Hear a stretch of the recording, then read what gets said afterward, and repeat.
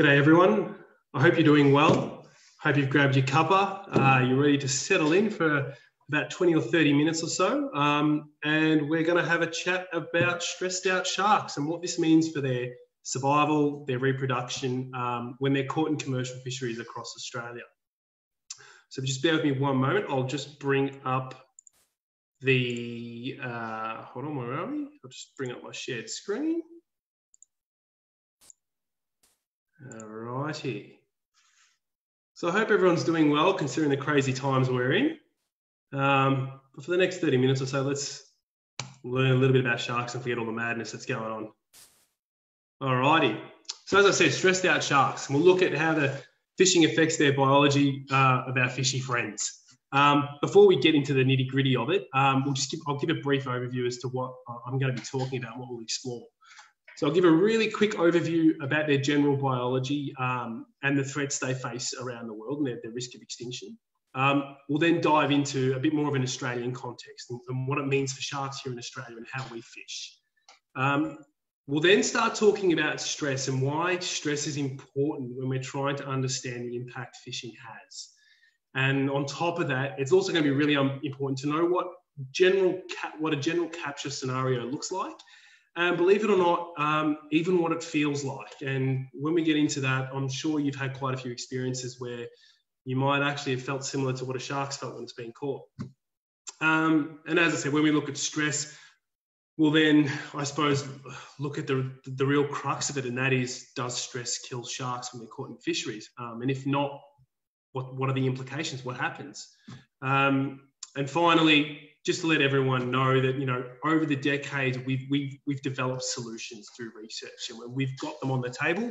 Some of them have been implemented and some of them are yet to be implemented across our fisheries. So there is a way forward and we'll touch on on how we can do that. And then following all my preamble if i haven't bored you to death um, I'll answer as many questions as I can, so feel free to write them in the comments.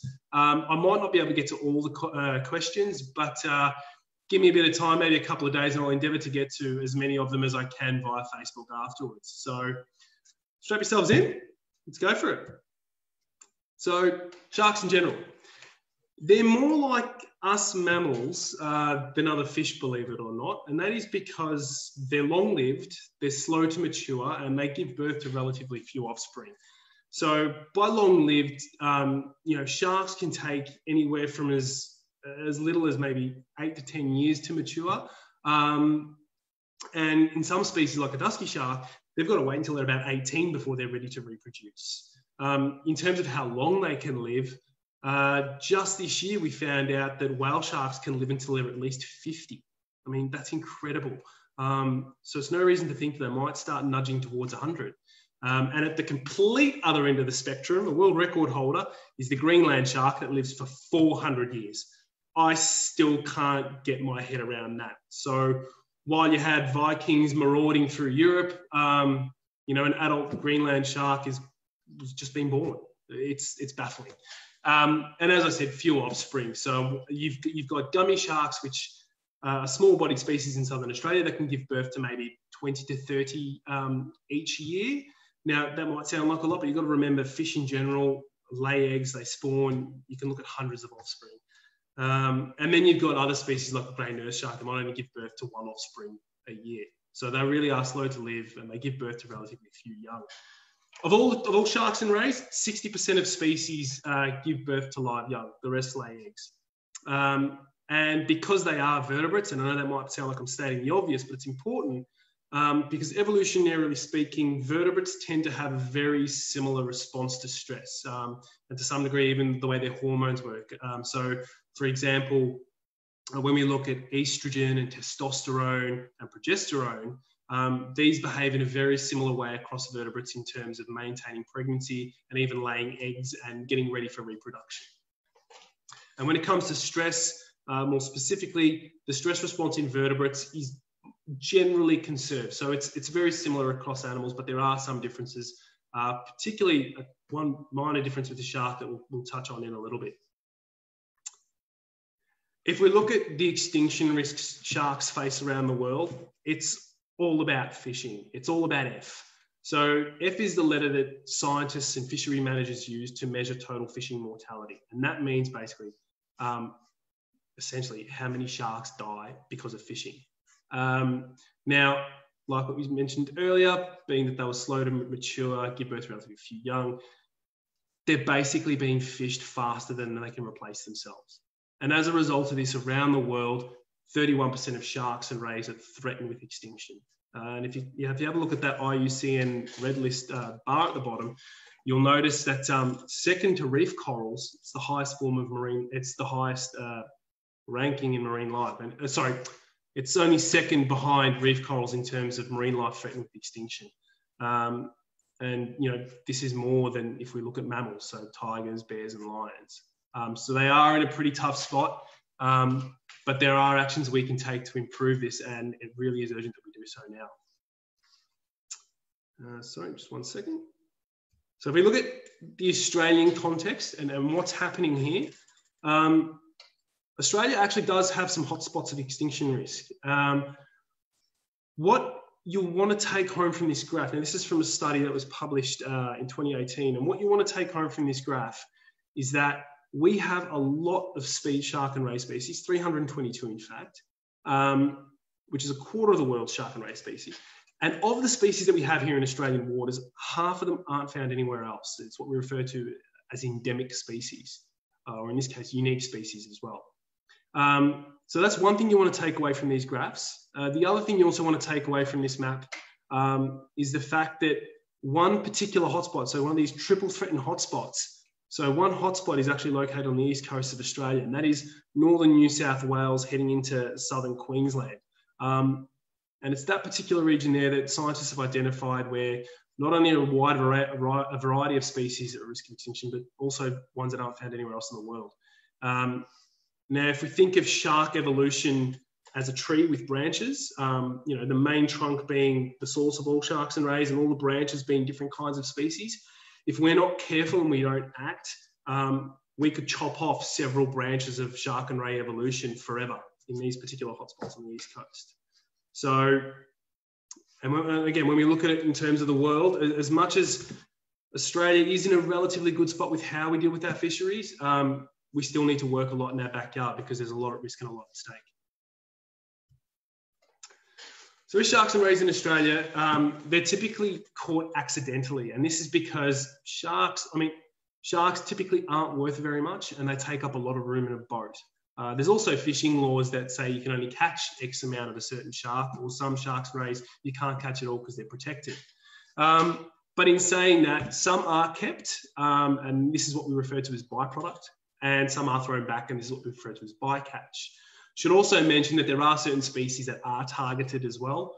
Um, and these might be some of your black tips, uh, your bronze whalers, or your gummy sharks. And culturally in Australia, since the 1920s, we've referred to shark meat generally as flake. Um, and we find these in our fish and chip shops. The, the fishing methods that we typically use, um, three main forms, and that is long lines, gill nets, and trawls, which I'll touch on in the next few slides. So if we look at long lines, as the name suggests, um, very long lines, sometimes kilometres in length, um, with hundreds or even thousands of hooks hanging from them that are baited. Um, and as you can see on the bottom left here, you typically get your larger bodied species that get caught on long lines and your larger individuals. So you've got a bronze whaler down there on the far left, um, and on the right of screen, you've got the iconic tiger shark, which is little Timmy up here. Don't worry, mate, you're safe. Um, if we look at uh, gill nets, as the name suggests, they're nets that ensnare fish um, at their gills and, and, stop them from moving any further. So there's a picture of a gummy shark down there on the left. Um, that's one I took in the lab with an experiment I was doing. Um, but also, gill nets are infamous for the sheer variety of wildlife they catch. Um, and it's a particularly tragic story when we looked at when we look at an endangered uh, scalloped hammerhead, critically endangered, in fact, now. And that's because of the shape of their head. So these two photos here were sourced from the Great Barrier Reef, believe it or not. Um, and with scalloped hammerheads, because of the shape of their head, smaller sharks, smaller hammerheads can't swim through the holes in the net, and the bigger sharks can't bounce off it. So because of the shape of their head, they just get tangled really easy, um, and unfortunately, more often than not, die. And as you can see, nets as a method can catch sharks in quite large volumes. when we look at trawls, um, similar to a, a, gill net in the sense that it's a net that's dragged along the bottom and it scoops up uh, what it needs to catch and is quite indiscriminate. Um, and this can occur through all levels of the water column. Um, on the generally speaking, in terms of sharks and rays, you're looking at your bottom dwelling species. So these are animals like your rays, your skates, um, and even some of the flat bodied sharks. So on the right down there, you've got an angel shark that's been caught. On the left, what you've got there is a few years back. I remember hearing about it on the news actually. I got really, really intrigued by it. Um, and that was a rare, a rare find of a basking shark. So these are huge sharks that feed on plankton, so microscopic animals in the water um, very much the same diet as whale sharks. Um, and this animal here was accidentally caught in a trawl. So, you know, it, it, big or small, um, they're vulnerable. So the next, the next thing we want to know is, okay, we know how we fish. We know that we are catching sharks and some are dying and some are getting thrown back alive. But we really want to accurately assess what impact we're having when we fish. And this is where measuring how stressed sharks get is important. So it's pretty it's pretty straightforward when we look at how many sharks die when they come to the boat. Um, but what we don't really know very well is what it's like for sharks that are released alive. Um, and even more so after that, to really bolster the accuracy of our predictions and what impact we're having, we even need to know what happens to sharks that survive indefinitely. So let's say they're released alive and let's say they don't die a week later, but in fact, live for X amount of years. You know, what happens to them? How has the stress affected them? And once we understand this broader picture, um, we can better understand the impact we're having. And as I said, getting to this, uh, getting to the, the specifics of this is really understanding how sharks and rays respond to stress, and enables us to best predict how we can fish for the future and, and the impacts we're having, as I said. So, what does capture look and feel like? There's generally, typically, there's three sort of phases. The first phase is the shark ray gets caught. It struggles and it becomes exhausted. So sharks are mostly white muscle. Now, this is the same muscle you and I have that we use when we go sprinting or we're exerting strength, basically any form of, of short bursts of power. Um, so sharks are predominantly this, and they'll thrash around and they'll fight, you know, the fight or flight response. And throughout this process, um, you know, adrenaline's released, the shark basically wants to escape. And then the process becomes exhausted. Once the shark's then brought up onto the boat, it then experiences air exposure. It's out of the water. Um, and also handling. So fishers will then have to get the hook out of the mouth, disentangle the shark from a net, um, safely remove it, uh, and then in the last phase, um, release it if it's alive. But again, does it recover? That's another important question. So if you want to know how this feels like, I back in the day played a fair bit of AFL, Aussie rules footy. Um, and I know what it's like to exert myself, and I dare say many of you out there do as well. When you exert yourself for quite a few hours, then you know the next day you're stiff, you're sluggish, you can't move. It's very much the same for sharks. So all you have to do is sprint 200 meters, but not just once. Do it hours on end, um, and then see how you feel, even in the space of a minute uh, and then see how you feel the next day. This is what sharks and rays are experiencing when they're caught. Um, so, okay, so we know that, but how, how, exactly how do we physically measure the stress? So think of scientists in terms of measuring shark, shark stress as sports scientists. So we'll typically take blood samples or muscle samples, and then we'll analyze them for levels of lactic acid, lactate in the blood, um, electrolytes and salts like potassium, uh, glucose, um, and even white blood cell counts. So with all this, we get a picture of the physiological or biological response to stress, and we can sort of assess what condition the shark's in. Um, I touched on it earlier, but there's one thing that sharks don't have that a lot of vertebrates do, and that is sharks don't have the stress hormone cortisol. So in a lot of other vertebrates, they scientists typically measure cortisol as a measure of stress. Um, this can be measured in blood, it can be measured in hair follicles, it can be measured in, in droppings. Um, but with sharks, they don't have it. Um, we can't yet accurately identify and measure the shark stress hormone. Um, so we use all these other measures to paint as, as complete a picture as we can. So an important thing to realize is that not all species are built equally. So as much as we can get a, a sense of the shark stress response physiologically, it's going to vary across different species. And the easiest grouping to start with is breathing. Do they have to move or don't they have to move to breathe? And this is reflective of how much activity they require, or how, sorry, their activity levels. So on one end of the spectrum, we've got sharks that don't have to move. The sharks and rays don't have to move. And they'll breathe by pumping water through their mouths, which is called buccal respiration, or through spiracles, which is kind of like holes at the back of their eyes. And that's spiracular respiration. And this allows them to breathe without having to move. They can pump water through manually, so to speak. Um, then on the other end of the spectrum, you've got your more active sharks, sharks that have to move to breathe. And this allows them to swim and open their mouth and force water through their gills the faster they move so they can get more oxygen. And this is called ram ventilating um, for the very reason that they're quite literally ramming through the water to get oxygen through their gills. So again, looking at the Port Jackson shark, um, it's quite a tough species. It's very tough. It's quite impressive. Now, it can actually, and I have to put the caveat here, this was done under strict laboratory conditions with the appropriate uh, ethics approvals and animal welfare in mind. But the Port Jackson shark can actually survive a couple of hours outside of water. Um, and it survives quite well afterwards. Um, now, don't do this when you go fishing if you catch one. I highly recommend you snip the line instead. Um, but under laboratory conditions, it can survive air exposure and with no adverse effects as such. Um, on the other, and sorry, the Port Jackson doesn't have to move to breathe. It can quite happily sit there and just move its mouth to pump water through. On the other end of the spectrum, you've got scalloped hammerhead sharks who are notorious for being super sensitive. Uh, the joke is they just see a hook and die. And the reason we say this is because when hammerhead sharks are caught on a line or a hook, um, and I've seen this when I was doing my research, is that for, for a hammerhead shark to live longer than an hour on a hook, um, it's not that common. Um, most of them are going to be found dead, unfortunately, or tragically, I should say. But, and, and even for those that are released alive, they're generally not in a good way. Um, so again, you've got these species where they don't have to move versus active species that have to move. And this is important because the type of fishing has an influence on how much stress the animal experiences. So basically, how restrained the animal is.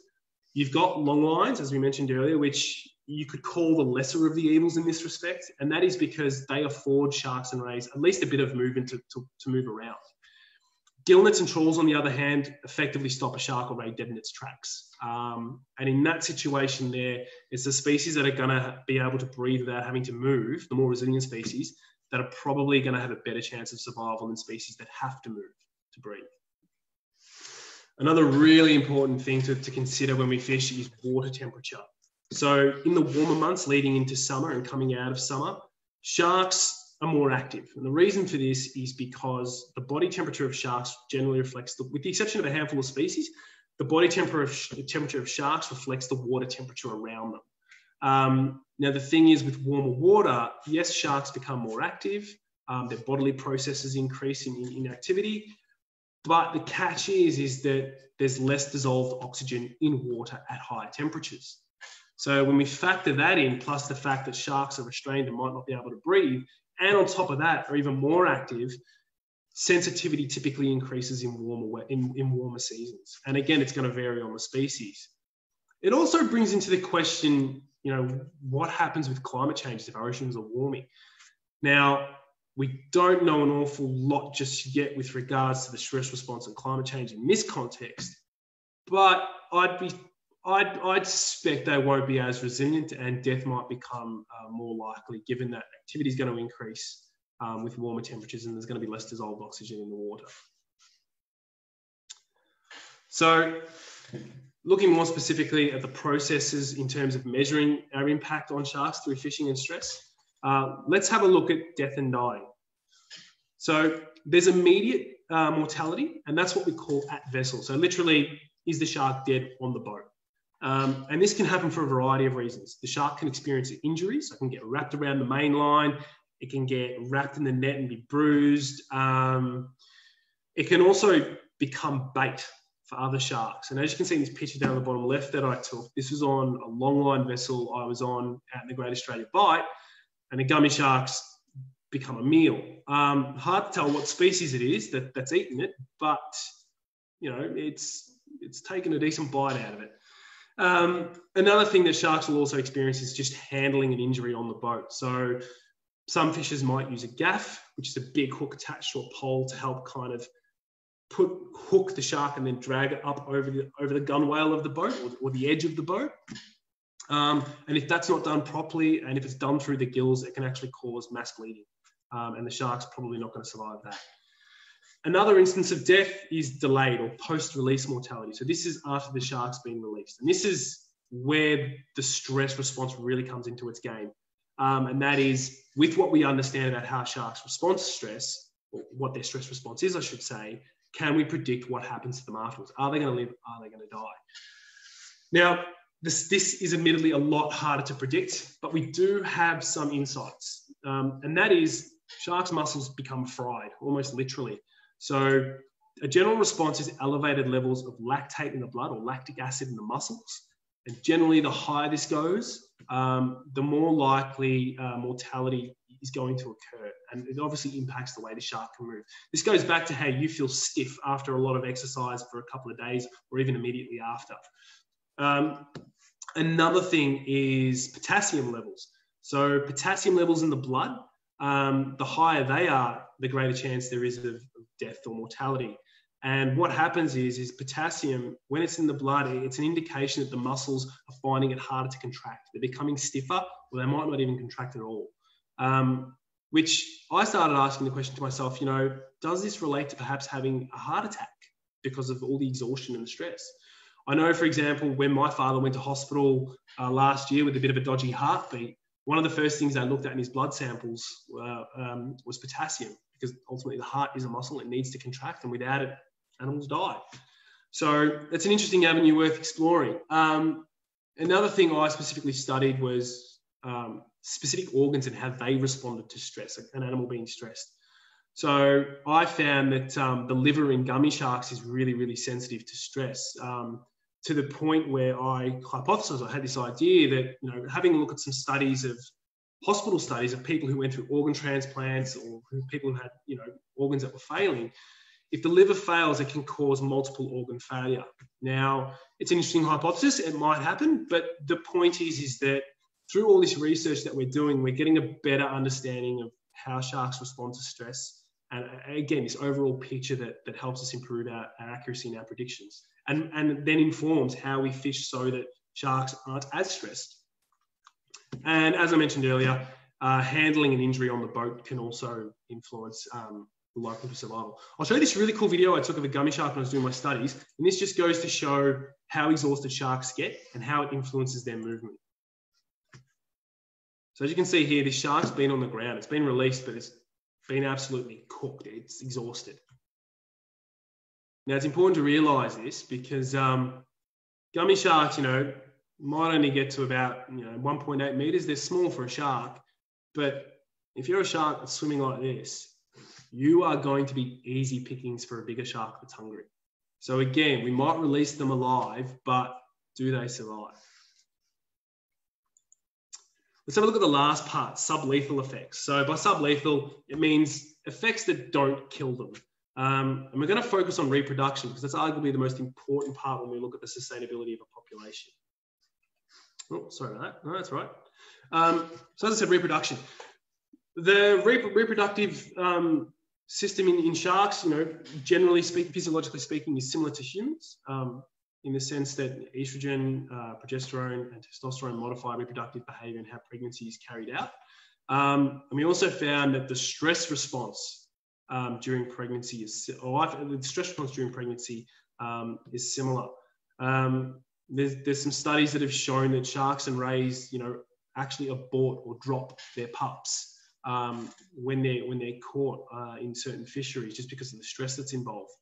Um, now, when this happens, it's one of two. It, it's a couple of things. It's mum protecting herself so that she can survive, and that enables her to reproduce um, over the next few years that, that she's alive.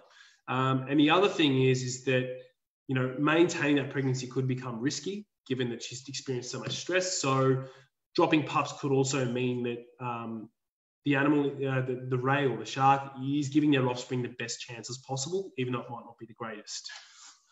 So that does happen. Um, when I studied fiddler rays, as you can see in these pictures here, um, I looked at again how stress was affecting um, their pregnancy and their offspring.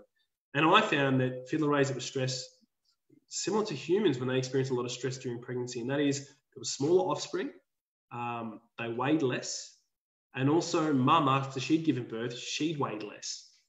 Although I noticed it a bit too late in terms of recording the data, I remember looking at looking after these females over a period of months after I'd, I'd simulated trawling on them in the lab, and I noticed that they'd even eat a lot less than what their unstressed counterparts would. So there's a lot of implications here. Um, and with the blood samples, I, I, looked at their immune response, their white blood cell counts. And the same thing happens to us humans too. It happens to you. And that is when you get sick, your white blood cells change in their proportions um, to fight off a disease or infection. But the catch to that is, is that it takes a lot of energy for your body to do that. So when we look at chronic stress, um, where this immune response is kind of consistently elevated, it's zapping a lot of your energy that would otherwise go to other things. So this could mean that there's less energy available for growth in these offspring. Um, it could mean that mum or the offspring become more vulnerable to disease because there's not enough energy available to fight off disease effectively. Um, so, and, and sorry, and generally in biology, generally speaking, um, smaller and lighter offspring um, than what they normally would be typically are more vulnerable um, to, to being eaten by other animals or you know a lower chance of survival. It's not a hard and fast rule, but it's it's general rule. Um, so overall, it looks like it's a little bit more than just F. It's not just how many die. Um, and we really need to, to look more into what happens to them afterwards um, in terms of their reproduction as well. Oh, sorry. Um, sorry, lost track there. So yeah, so as much as it might all seem doom and gloom, it's not. And as much as we are their greatest threat, we are also their single greatest hope. Um, over the decades of research, you know, fisheries, um, the way we manage our fisheries, the way we look after sharks, the measures we put in place to protect them have come a long way. Um, some of the solutions that have been implemented are things like changing hooks from J hooks to O hooks. And the reason for that being is that O hooks um, prevent a shark essentially from swallowing the hook and literally cutting up its insides. Um, we no longer have wire traces, they're banned. So, wire trace is that line that goes from the main line down to the hook. Um, so with a wire trace, a shark can't bite through that and swim freely off. Uh, whereas now that we don't have them, sharks are able to do that and they're not unnecessarily getting caught.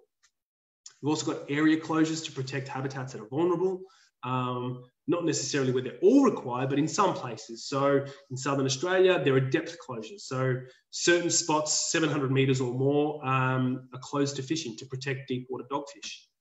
Uh, and there are devices we can put on our fishing gear. Uh, one's called a turtle excluder device. This is basically an escape hatch in a trawl net that allows turtles to escape, but also larger animals, not just sharks and rays, but even dolphins. So there are solutions. Um, the research needs to continue, funding needs to continue, um, conservation needs to continue so that we can ensure that we have better ways to fish for the future. And it's not just about protecting sharks. Sharks are incredibly important to marine ecosystems. They keep the food webs in balance, and a healthy ocean needs its sharks. So by looking after sharks through the way we fish, we're looking after the broader ocean. And in doing so, we're ensuring that our fishery is more sustainable and that we can enjoy the ocean for its bounties and its joys for as many years as we possibly can. So if you're asking yourself, how can you help specifically? There are a couple of ways. Um, first and foremost, it'd be awesome if you could join over 30,000 shark champions. That's the Australian Marine Conservation Society's uh, and Humane Society International's shark conservation campaign. Uh, you'll notice in the comments there's a link um, to a petition to save the critically endangered scalloped hammerhead in the Great Barrier Reef. As I touched on earlier, um, they're industrial-sized gill nets in the reef that are you know, up to 1.2 kilometres long, hanging in our Great Barrier Reef that, uh, that ensnare these wonderful sharks. And they're in dire straits and they need every help they can get. So I highly recommend you sign that petition and join us to help save sharks across the country. You can also download Australian Marine Conservation Society's Good Fish Guide. Um, this enables you to source sustainable alternatives uh, for seafood next time you're out at a restaurant, head into the fish and chip shop, anywhere you like. Um, have a look at your green listed species and perhaps have a look at some species you might not have sort of wanted to eat before but would like to try. and lastly, um, you can always donate. So again, this is links in the comments. Um, every little bit helps. Even chipping in 10 bucks to kickstart um, our vital campaign work from 2021 and beyond goes a long way to improve um, the state of our sharks in this wonderful country. Um, so yeah, so thanks very much. Um, and now I'll address some questions. So just bear with me. I'll just bring up a, uh, where are we? Sorry, one moment. Hopefully I'll be able to get my list of questions up. Alrighty. Okay, questions. Julie Smith. Uh, Julie Smith asked, would you analyze for stress enzymes? Um, yes. So there's a lot of work uh, that has been done or is being done on looking at certain enzymes and certain proteins as to what we can use to, uh, to, you know, to build this comprehensive picture and find the holy grail of that one marker that says, is the shark going to live or die? Um, one I am aware of, although forgive my biochemistry here, if it's technically an enzyme or not, but uh, heat shock proteins. Um, so they've looked at heat shock proteins uh, in mako sharks, last I recall, a couple of years back. Um, and they're, yeah, they're, they're another potential um, indicator for stress. So, and I, I dare say there, is, there are some other elements that, that haven't been explored that, that might be quite useful as well. Uh, Julie's also asked, how do you assay for a base level of stress products? Um, I'm assuming that means how do you establish a base level of stress? Um, that's a really important question. So base level of stress is kind of like, um, you know, at a resting stage. So for example, you and I sitting here, what's a baseline and anything above that, that indicates stress.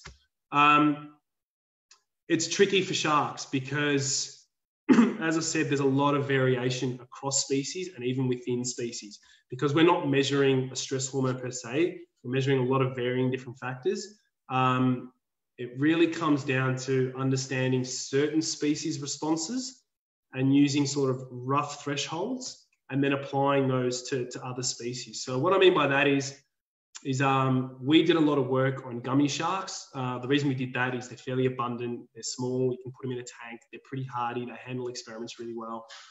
And from that gummy sharks, we look at we look at um, lactic acid, and glucose, and potassium.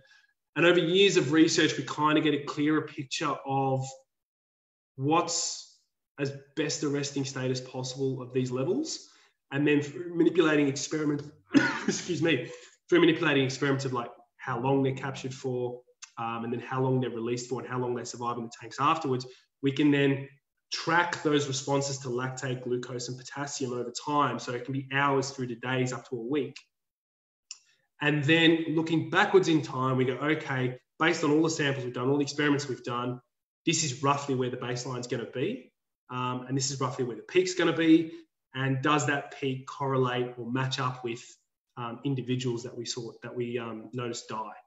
Um, and that's kind of how we do it. So, geez, mate, stay still. Jeez. So, it, the short answer is it's super tricky to get a baseline estimate because you're, you're measuring a lot of different things like lactic acid, glucose, potassium, and so forth. Um, and it, it's only available for a few species, and even still, it's it's a it's an estimate. Um, it's a tricky thing to measure without actually having a definitive stress hormone per se. Um, Alison has asked, what percentage of shark young survive to adulthood? That's a super good question. Um, I dare say probably not a lot. Um, again, it would depend on the species. So generally species that are going to give birth to quite a few pups um, so, say for example, gummy shark, as I mentioned earlier, 20 to 30 pups perhaps each year. They're more on the faster reproducing side of sharks. Um, that's a numbers game uh, because ultimately small sharks are easy pickings for other sharks. Um, I dare say the smaller sharks are one of the primary food sources for other sharks. So, yeah, it's it's a tricky one. I would say not many. Um, nature, she can be quite brutal. Um, and it, it, goes to speaking to you know only the fittest surviving. Um, and it also speaks to, to, to, species like the grey nurse shark that you know give birth to perhaps one, one shark a year, one offspring a year.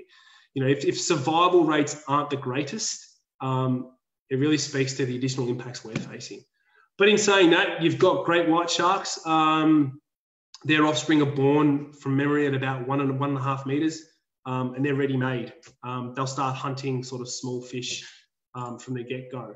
I couldn't tell you off the top of my head their survival rate, but suffice to say that um, general rule of thumb is, I suppose, the more offspring you're going to give birth to in one hit, you're playing a bit of a numbers game, um, and it's kind of like you know a numbers game in the sense that at least some will survive. If you're a species that's evolved to give birth to very few young, uh, like maybe one or two, then generally speaking, they've probably got a reasonably good chance of survival compared to, say, those other species that give birth quite a lot. Andrew's asked, uh, do you know what happens to sharks released from shark nets and drum lines? Uh, yeah, a little bit. So similar to what the work I've done in the past and what a lot of scientists are doing is measuring the stress response, as I've talked about with fishing. Um, it's not so much happening with nets. Um, nets are just terrible. Like they'll stop a shark in its tracks. And especially when you're looking at shark mitigation programs and the how the, I suppose how often they check the nets, which probably isn't that often at all. Um, you can pretty much guarantee a shark's going to be dead. Uh, but if we look at drum lines, um, smart drum lines specifically, where they have to go out, release the shark, tag it, they'll often take blood samples, measure stress. There's been studies uh, recently published, particularly on great white sharks. Um, and great white sharks are pretty tough. Um, you know, they can be out on the hook for a couple of hours, um, be released and in relatively good nick. Um, you know, and the tags show that. Um, should have mentioned earlier that satellite tags are often used on sharks so that when we measure their stress response and they do get released, um, we can actually tell, okay, based on the blood profile and the fact that it's swimming for 10 days, perhaps that's not so bad. Whereas there have been satellite tags where they'll take a blood profile and the satellite tag has showed that the shark died two days later. You might then go back to the research and go, well, um, you know, these levels are considerably higher than the baseline, which goes back to that earlier question. So when you understand a baseline or a rough estimate, and again, it's very species specific, but we can get an understanding of survival. So, yeah, so in short, nets, bad news, they're going to die. Um, smart drum lines, where there is an opportunity to go out to the net and look at the shark and take a sample. Again, it'll depend on the species. White sharks, you know, pretty hardy. They'll probably survive if they're gotten to within a few hours, which is the idea. So when a smart, I should explain, when a smart drum line um, sends an alert to, to fisheries managers on the, on the shore, they then hop in the boats, head out to the drum line, release the shark and tag it. Um, but again, if you're looking at a hammerhead that decides to take a bite on a smart drum line, um, yeah, good luck. Unfortunately, good luck. Tiger sharks, on the other hand, um, pretty resilient too. I'd say in a similar boat to a white. They'll, they'll survive if they're gotten to in time. Um, I don't know if there's any more questions. I can't see them on my screen. So apologies if I've missed any. But as I said, I'll, um, I'll have a look at the comments over the next few days and get to as many as I can. Um, if you've got any further comments, add them to the comments section. Uh, and if you'd like to get in touch with myself, uh, you can also email amcs at amcs.org.au. Drop my name. If you want to chat more about sharks, always happy to.